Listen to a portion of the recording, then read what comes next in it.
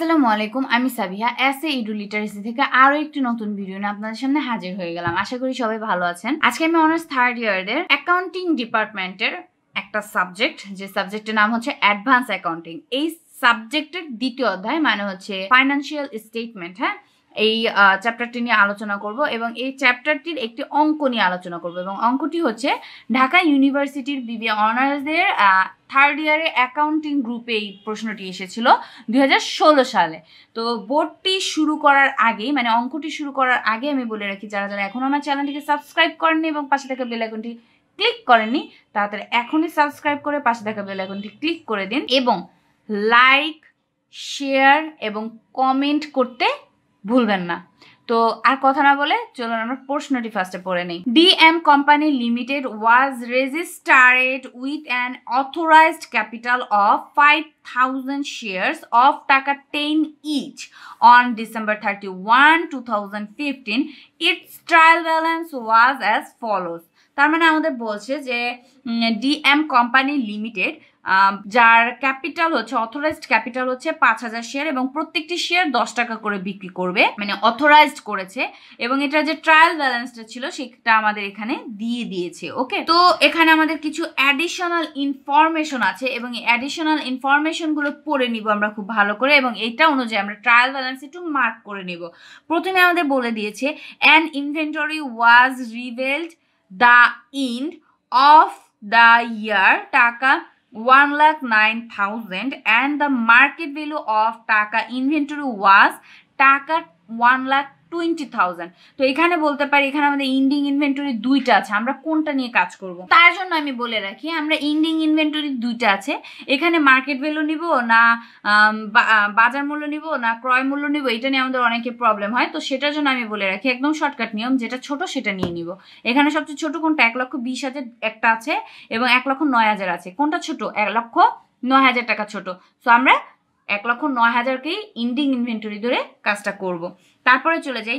Sales include টাকা thirty two thousand goods sold sale or return মানে আমাদের sale return ছিল বত্রিশ হাজার টাকা।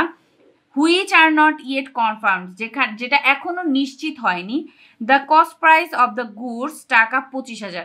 এই বত্রিশ হাজার মানে যে পণ্যটা আমি বত্রিশ হাজার টাকা দিয়ে বিক্রি করেছি, সেই পণ্যটার পিছনে আমার খরচ হয়েছে কত? পঁচিশ হাজার টাকা। আমাদের খরচ হয়েছে কত করে? পঁচিশ হাজার টাকা দিয়ে। তার মানে পণ্যটা বিক্রি করেছিলাম বত্রিশ হাজার টাকা দিয়ে এবং পণ্যটা পেছনে খরচ করেছিলাম আমি পঁচিশ হাজার টাকা। ওকে, তার মানে এটা কোথায় যাচ্ছে? একবার যাবে অ্যাকাউন্টস রিসিভেবলে আর একবার যাবে সেলসে এবং আর একবার কোথায় যাবে? বলেন তো একটু মনে করে, আমরা কিন্তু এর আগেও এরকম টাইপের অঙ্কগুলো করেছি। কোথায় যাবে আরেকটা? ইন্ডিং ইনভেন্টরিতে ওকে, তাহলে আমরা একটু মার্ক করে নিই এখানে হ্যাঁ?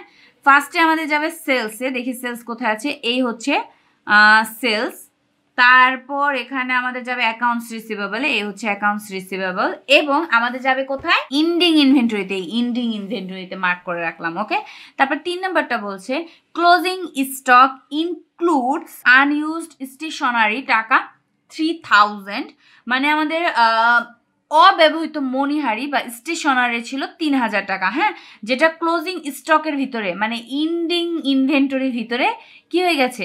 যুক্ত হয়ে গেছে ওকে তার মানে এটার একটা কাজ আমাদের ইন্ডিং ক্লোজিং স্টকের সাথে একটা কাজ আছে এবং এটা আর কোথায় যাবে? আমাদের আনইউজ স্টেশনারি দেখি এখানে আমাদের স্টেশনারি আছে কিনা হ্যাঁ? এখানে আমাদের এই যে স্টেশনারি এক্সপেন্স ছিল হ্যাঁ? তো এখানে আসবে ওকে তারপরে চলে যাব make a provision for dividend dividend ঘোষণা করা হয়েছে দশ হাজার টাকা okay fine provision for income tax to be debt sorry to be kept টাকা সিক্সটি থাউজেন্ড মানে ষাট হাজার টাকার একটা ট্যাক্সেশন প্রভিশন রাখতে হবে। Depreciation ten percent on machinery মেশিনারির ওপর দশ পার্সেন্ট অবচয় ধরতে হবে। অন স্ট্রেট লাইন ম্যাথুড কিসের ওপর? স্ট্রেট লাইন মানে সরল রৌখিক যে অবচয় পদ্ধতি আছে, সেই পদ্ধতিতে আমাদের অবচয়টা ধরতে হবে। And create an allowance for bad debt accounts at five percent on accounts receivable তার মানে মেশিনারি এবং অ্যাকাউন্টস রিসিভেবল এই দুইটার ওপর কাজ আছে। তাহলে এখান থেকে দাগিয়ে নিচ্ছি। এই হচ্ছে আমাদের মেশিনারি এবং অ্যাকাউন্টস রিসিভেবল এই। দুইবার করে অ্যাকাউন্টস রিসিভেবলের মধ্যে কাজ হবে ওকে তারপরে চলে যাব আমাদের, কি বলেছে? Prepare multi step income statement তার মানে আমাদের শুধুমাত্র একটা ইনকাম স্টেটমেন্ট করতে বলেছে হ্যাঁ? তার মানে এই অঙ্কটাতে যেহেতু শুধুমাত্র ইনকাম স্টেটমেন্ট করতে বলেছে, তাহলে এখানে কিন্তু আমাদের রিটেন আর্নিংস বা ব্যালেন্স শিট দুইটার একটাও করার কোনো প্রয়োজন নেই, তাই না? তো আমরা এখানে রিটেন ইনকাম স্টেটমেন্টটা করতে বলেছে। সো আর কথা না বলে চলুন আমরা ইনকাম স্টেটমেন্টটি শুরু করে দিই। তো ইনকাম স্টেটমেন্টের প্রথমে আমাদের নিট সেলস বের করতে হয় এবং নিট সেলস বের করার জন্য আমাদের যেটা করতে হবে সেটা হচ্ছে আমাদের ফার্স্টে সেলস লিখতে হবে। এবং এই অঙ্কটার মধ্যে আমাদের সেলস ছিল হচ্ছে তিন লক্ষ ষাট হাজার টাকা। তাহলে এখানে আমি বসিয়ে দিচ্ছি তিন লক্ষ ষাট হাজার টাকা। এবং এখানে আমাদের যেহেতু সেলস রিটার্ন একটু আগেই আমরা পড়ে নিলাম, আমাদের সেলস রিটার্ন ছিল। সো আমরা বসিয়ে দিচ্ছি সেলস রিটার্ন এবং সেলস রিটার্ন কত ছিল? আমাদের যে বিক্রয় মূল্যটা ছিল, সেই টাকাটা বসাবো। বত্রিশ হাজার টাকা। তাহলে যেহেতু বিয়োগ করতে হবে, আমরা বিয়োগ করে দিচ্ছি। তিন লক্ষ ষাট হাজার থেকে মাইনাস করে দিব বত্রিশ হাজার টাকা, আমরা পাবো তিন লক্ষ আঠাইশ হাজার টাকা। তাহলে এখানে আমরা বসিয়ে দিচ্ছি তিন লক্ষ আঠাইশ হাজার টাকা। এবং এটা হচ্ছে আমাদের নিট সেলস। তিন লক্ষ আঠাইশ হাজার, এটা কি পেলাম? Net sales. Okay? So, net sales বের করার পর এখান থেকে আমাদের বাদ দিতে হয় minus cost of goods sold. তাহলে লিখে নিচ্ছি কস্ট অফ গুডস সোল হ্যাঁ?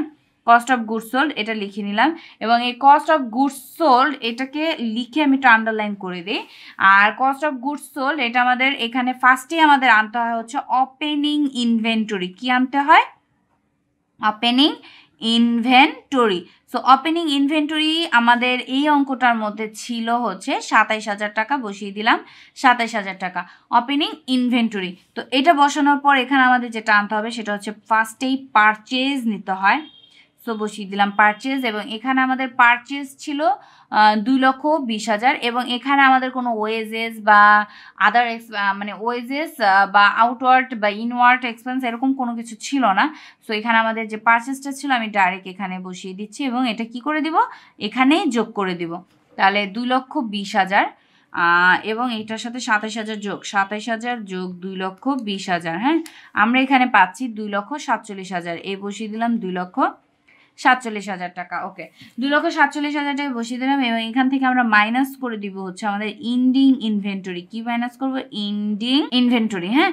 ইন্ডিং ইনভেন্টরিটা মাইনাস করবে এবং এখানে আমাদের ইন্ডিং ইনভেন্টরিটা ছিল হচ্ছে এখানে আমাদের একটা কাজ করতে হবে হ্যাঁ? এখানে কিন্তু ইন্ডিং ইনভেন্টরির মধ্যে কিছু কাজ আছে। তো সেই কাজগুলো আমাদের করতে হবে। তো এই কাজটা আমি করে দেখাবো আপনাদেরকে আলাদাভাবে। তো এই আমি চলে আসলাম এবং এখানে আমাদের ইন্ডিং ইনভেন্টরির পরিমাণটা আমরা বের করে নেব হ্যাঁ? Ending inventory sorry ending inventory আমাদের ইন্ডিং ইনভেন্টরি প্রশ্নে ছিল হচ্ছে এক লক্ষ নয় হাজার। আমি বলেছি যেটা ছোট সেটা নেব। এক লক্ষ নয় হাজার ছোট ছিল, তাই আমি নিয়ে নিলাম আমাদের অ্যাডিশনাল ইনফরমেশন থেকে এক লক্ষ নয় হাজার। এবং এই এক লক্ষ নয় হাজারের সাথে দেখেন আমাদের কতগুলো পণ্য ফেরত এসেছিল? পঁচিশ হাজার টাকার পণ্য ফেরত এসেছিল। তাহলে সেলস রিটার্ন আমরা আগে লিখে নেব সেলস রিটার্ন সেলস রিটার্ন আমাদের ফেরত এসেছিল পঁচিশ হাজার টাকার পণ্য। লিখে নিলাম পঁচিশ হাজার এবং এক লক্ষ নয় হাজার। যোগ করে দেব পঁচিশ হাজার। আমরা পাবো এক লক্ষ চৌত্রিশ হাজার টাকা। ওকে বসিয়ে দিচ্ছি এক লক্ষ চৌত্রিশ হাজার টাকা।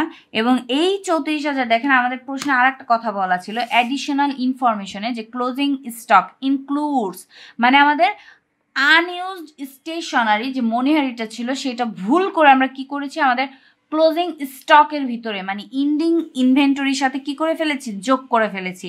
তাহলে এইটাকে করতে হবে কি? মাইনাস তাহলে লিখতে হবে মাইনাস আনইউজড স্টেশনারি হ্যাঁ? আনইউজড স্টেশনারি আমাদের আনইউজড স্টেশনারি ছিল তিন হাজার টাকা। তাহলে মাইনাস করে দিলাম তিন হাজার টাকা, আমরা পাবো এখানে এক লক্ষ একত্রিশ হাজার টাকা, তাই না? এক লক্ষ একত্রিশ হাজার টাকা। এই হয়ে গেল আমাদের ইন্ডিং ইনভেন্টরির টোটাল একদম ক্লিয়ার কাট যে অ্যান্সারটা সেটা। তাহলে আমরা ইন্ডিং ইনভেন্টরি এখানে কত টাকা মাইনাস করতে পারি? এক লক্ষ একত্রিশ হাজার। বসিয়ে দিই এক লক্ষ একত্রিশ হাজার। এবং এটাকে কি করব? যেহেতু মাইনাস লিখে রেখেছি, তাহলে মাইনাস করে দিতে হবে। তাহলে দুই লক্ষ সাতচল্লিশ হাজার থেকে মাইনাস করে দেব এক লক্ষ একত্রিশ হাজার। মাইনাস এক লক্ষ একত্রিশ হাজার। আমরা পাবো এখানে এক লক্ষ ষোলো হাজার টাকা। বসিয়ে দিচ্ছি এক লক্ষ ষোলো হাজার টাকা। এবং এই এক লক্ষ ষোলো হাজার এটা কিসের পরিমাণ পেলাম? কস্ট অফ গুডস সোল এবং এই এক লক্ষ ষোলো হাজার থেকে মানে তিনশো, তিন লক্ষ আঠাশ হাজার মাইনাস এক লক্ষ ষোলো হাজার। আমরা পাবো দুই লক্ষ বারো হাজার। তাহলে বসিয়ে দিচ্ছি দুই লক্ষ বারো হাজার। টাকা এবং এই দুই লক্ষ বারো হাজার টাকার নাম আমরা দিতে পারি গ্রস প্রফিট এবং এই গ্রস প্রফিট থেকে আমরা কি করব এখন? অপারেটিং যে ইনকাম ছিল সরি অপারেটিং এক্সপেন্স সেই অপারেটিং এক্সপেন্সগুলো কি করব? সুন্দর করে মাইনাস করব। সো অপারেটিং এক্সপেন্সগুলো মাইনাস করার জন্য আমরা একদম প্রথম থেকে সুন্দর করে একটু দেখে যাই। ইনভেন্টরি নিয়ে নিয়েছি পারচেস সেলস না হয়ে গেছে স্টেশনারি এক্সপেন্স এখানে আমরা অপারেটিং এক্সপেন্স নিব এবং অপারেটিং এক্সপেন্সের মধ্যে স্টেশনারি এক্সপেন্স এখানে কাজ আছে হ্যাঁ? আগে আমরা লিখে নিচ্ছি স্টেশনারি এক্সপেন্স আমাদের আগে স্টেশনারি এক্সপেন্স ছিল হচ্ছে তেরো হাজার টাকা। এবং এখানে বলেছে যে অ্যাডিশনাল ইনফরমেশন ইনফরমেশনে বলেছে আনইউজড মানে এখনও ব্যবহৃত হয়নি। এরকম আনইউজড স্টেশনারি আছে তিন হাজার টাকার। তাহলে সেটা আমরা কি করে দিব? মাইনাস করে দিব। তাহলে আনইউজড স্টেশনারি তিন হাজার ছিল। সো এটা মাইনাস করে আমরা পাচ্ছি কত? দশ হাজার টাকা। বসিয়ে দিলাম, দশ হাজার টাকা। তারপরে চলে যাব লুজ টুলস লুজ টুলস তারপর ten percent investment machinery machinery কি? এটা হচ্ছে আমাদের ডেপ্রিসিয়েশন ছিল। মেশিনারিতে দাগ দিয়ে রেখেছি। ডেপ্রিসিয়েশন অফ মেশিনারি শর্ট করে লিখলাম। ডেপ্রিসিয়েশন অফ মেশিনারি এখানে আমাদের মেশিনারি ছিল তিন লক্ষ চোদ্দ হাজার। তাহলে তিন লক্ষ চোদ্দ হাজার, এটার উপর ইনটু করতে হবে। আমাদের এখানে পার্সেন্ট দেওয়া ছিল মেশিনারির তিন লক্ষ চোদ্দ হাজার মেশিনারি এটার উপর পার্সেন্ট ছিল হচ্ছে ডেপ্রিসিয়েশনের দশ পার্সেন্ট এখানে একটা কথা বলি, এখানে আমাদের প্রশ্নে স্টেট লাইন ম্যাথডিক বের করতে বলেছিল। আর স্টেট লাইন ম্যাথডে বের করতে গেলে আমাদের কিন্তু বছর লাগে হ্যাঁ? বছর লাগে। আর এখানে কয় বছরের জন্য যে মেশিনারিটা কিনা আছে বা কিনেছি সেরকম কোনো কিছু বলেনি। তার মানে কি? এখানে আমাদের কীভাবে কাজটা করতে হবে? যে টোটাল যে আমাদের অ্যামাউন্টটা দেওয়া আছে মেশিনারির তিন লক্ষ চোদ্দ হাজার সেটার ওপর আমরা ডাইরেক্ট দশ পার্সেন্ট ধরে নিলাম এবং আমরা পাচ্ছি একত্রিশ হাজার চারশো। তাহলে এখানে দশ পার্সেন্ট বসিয়ে দিই এবং অবচয়ের যে টাকাটা সেটা এখানে বসিয়ে দিই, একত্রিশ হাজার চারশো। বসিয়ে দিলাম। তাহলে এখানে আমাদের কি কি চলে গেল? ফার্স্ট স্টেশনারি এক্সপেন্সটা সেটা করা হয়ে গেল, তারপর ডেপ্রিসিয়েশন অন মেশিনারি এটাও হয়ে গেল। তারপরে চলে যাব ডেপ্রিসিয়েশন অন মেশিনারি চলে গেল। ব্যাড ডেট এক্সপেন্স তারপর অ্যাকাউন্টস রিসিভেবল এই অ্যাকাউন্টস রিসিভেবলের যে ব্যাড ডেটটা ছিল সেটা আমাদের এখানে ধরতে হবে। তাহলে লিখে নিচ্ছি ব্যাড ডেটস এবং অ্যাকাউন্টস রিসিভেবলের যে ক্যালকুলেশনটা সেটা আমরা এখানে করে নেব। এখানে আমাদের অ্যাকাউন্টস রিসিভেবল ছিল, বসিয়ে দিচ্ছি অ্যাকাউন্টস রিসিভেবল দুই লক্ষ ষাট হাজার। এবং এখানে সেলস রিটার্ন আমাদের বিক্রয় কমে গিয়েছিল কত? সেলস রিটার্ন আমাদের বত্রিশ হাজার টাকার সেলস কমে গিয়েছিল, তাহলে বত্রিশ হাজার মাইনাস করে দিব। দুই লক্ষ ষাট হাজার মাইনাস বত্রিশ হাজার টাকা। মাইনাস করে আমরা পাচ্ছি দুই লক্ষ আঠাইশ হাজার টাকা। এখানে আমাদের সেলস রিটার্ন ছিল অ্যাকাউন্টস রিসিভেবল থেকে সেলস রিটার্নটা বাদ দিলাম, পেলাম দুই লক্ষ আঠাইশ হাজার টাকা। এবং এই দুই লক্ষ আঠাইশ হাজার টাকার মধ্যে আমাদের সেলস রিটার্ন মানে অ্যাকাউন্টস রিসিভেবলের উপর ব্যাড ডেপ্ট ধরতে বলেছিল পাঁচ পার্সেন্ট তাহলে এখানে আমরা এখন ব্যাড ডেপ্টটা বের করে নিই। ব্যাড ডেপ্ট দুই লক্ষ আঠাইশ হাজার এটার উপর পাঁচ পার্সেন্ট করব হ্যাঁ? দুই লক্ষ আঠাইশ হাজারের উপর পাঁচ পার্সেন্ট করব, তাহলে দুই লক্ষ আঠাইশ হাজার ইন্টু পাঁচ পার্সেন্ট আমরা পাচ্ছি এগারো হাজার চারশো। ওকে, এখানে ব্যাড ডেট আমরা বসিয়ে দিলাম এগারো হাজার চারশো, হুম? এবং এখানে আর একটা কাজ আছে, দেখেন আমাদের ট্রায়াল ব্যালেন্সে একটা ব্যাড ডেপ্ট দেওয়া ছিল। আমাদের, আমরা নিজেরা ধরলাম এগারো হাজার চারশো এবং আমাদের ট্রায়াল ব্যালেন্সে ব্যাড ডেপ্টের পরিমাণ ছিল দশ হাজার তিনশো, ঠিক আছে? এগারো হাজার চারশো যোগ দশ হাজার তিনশো, এটা যোগ করে আমরা টোটাল পাচ্ছি একুশ হাজার সাতশো টাকা। তারপর আছে interest on investment income tax provision তারপরে interest on debenture tax paid six percent debenture machine accumulated depreciation machine মেশিনের অ্যাকোমোলেটেড ডেপ্রিসিয়েশন ছিল। তারপর রিটেন আর্নিংস ওকে তো এখানে আমার মনে হয় অপারেটিং এক্সপেন্স আর নেই তো এগুলো আমরা যোগ করে বসিয়ে দিই। তাহলে এখানে একুশ হাজার সাতশো যোগ একত্রিশ হাজার চারশো যোগ দশ হাজার। আমরা পাবো তেষট্টি হাজার একশো। তাহলে এখানে তেষট্টি হাজার একশো বসিয়ে দিলাম এবং আমাদের যেহেতু দুই লক্ষ বারো হাজার টাকা ছিল হচ্ছে গ্রস প্রফিট এবং গ্রস প্রফিট থেকে অপারেটিং এক্সপেন্স বাদ দিতে হবে, তাহলে এটা বাদ দিয়ে দিচ্ছি, আমরা পাচ্ছি এক লক্ষ আটচল্লিশ হাজার নয়শো। এক লক্ষ আটচল্লিশ হাজার নয়শো। এবং এটার নাম দিতে পারি নিট অপারেটিং ইনকাম। ওকে, এখানে আমরা নিট অপারেটিং ইনকামটা বের করে নিয়েছি। অপারেটিং এক্সপেন্সটা বাদ দিয়ে। এবার আমরা চলে যাব আমাদের পরের কাজে। এবং পরের কাজে যেটা আছে, সেটা হচ্ছে যোগ করতে হবে নন অপারেটিং ইনকাম। এবং নন অপারেটিং ইনকামের ভিতরে যেটা ছিল, সেটা হচ্ছে interest on investment. So, interest on investment হ্যাঁ ইনভেস্টমেন্ট। এটাকে লিখে নিচ্ছি, ইন্টারেস্ট অন ইনভেস্টমেন্ট। আমাদের ছিল তিন হাজার টাকা। এবং এখানে আমাদের একটু ক্যালকুলেশন আছে। দেখেন, এখানে আমাদের ইনভেস্টমেন্ট ছিল হচ্ছে নব্বই হাজার ছিল ইনভেস্টমেন্ট এবং সেটা টেন পার্সেন্ট ছিল মানে দশ পার্সেন্ট তো দশ পার্সেন্ট করলে আমরা পাচ্ছি নয় হাজার নয় হাজারের মধ্যে তিন হাজার টাকা আমরা হাতে পেয়েছি। বাদ বাকি আরও কত পাইনি এখনও হাতে? দেখেন তো নয় হাজার মাইনাস তিন হাজার আমরা এখনও ছয় হাজার টাকা হাতে পাইনি। তার মানে কি? এখানে ডিউ লিখতে পারি কি? ডিউ ছয় হাজার তার মানে আমাদের টোটাল সুদ পাওয়ার কথা ছিল নয় হাজার, যার মধ্যে আমরা তিন হাজার টাকা পেয়েছি, বাদ বাকি ছয় হাজার টাকা এখনও পাইনি। সো এই নয় হাজার টাকা বসিয়ে দিলাম। এবং যেহেতু এখানে আর ইনকাম আছে এখানে আর কোনো ইনকাম নাই, তাহলে এটা এখানে না বসে আমি এখানে বসিয়ে দিচ্ছি নয় হাজার। এবং এটা আমরা কি করব?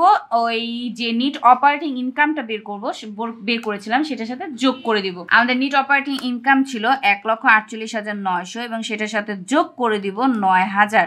আমরা পাচ্ছি এক লক্ষ সাতান্ন হাজার নয়শো। বসিয়ে দিই এক লক্ষ সাতান্ন হাজার।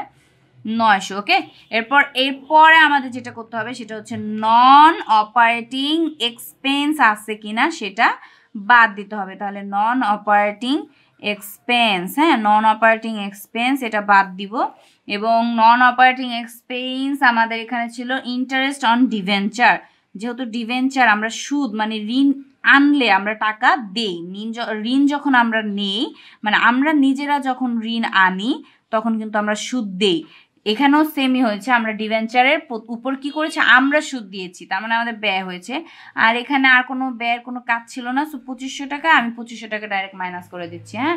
তাহলে এখানে আমাদের এক লক্ষ সাতান্ন হাজার নয়শো থেকে মাইনাস করে দিই পঁচিশশো, আমাদের থাকছে এক লক্ষ পঞ্চান্ন হাজার চারশো টাকা। কত থাকছে? এক লক্ষ পঞ্চান্ন হাজার চারশো, বসিয়ে দিই এক লক্ষ পঞ্চান্ন হাজার চারশো টাকা। এই আমরা বসিয়ে দিলাম ওকে তো এটাকে আমরা বলতে পারি net income before tax net income before tax okay net income before tax আমরা পেয়ে গেলাম। এরপর এখান থেকে আমরা কি করব? ট্যাক্সটাকে মাইনাস করব হ্যাঁ? ট্যাক্সটাকে মাইনাস করব। এখন এখানে একটু খেয়াল করব।